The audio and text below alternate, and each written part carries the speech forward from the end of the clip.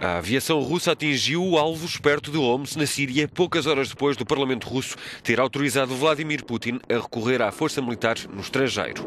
Num vídeo gravado por ativistas sírios, minutos depois dos bombardeamentos, é possível escutar uma voz a referir que foram aviões russos. De acordo com o Observatório Sírio dos Direitos Humanos, pelo menos 27 civis morreram, incluindo seis crianças, e dezenas ficaram feridos em bombardeamentos do regime de Bashar al-Assad, mas não há qualquer referência à aviação russa.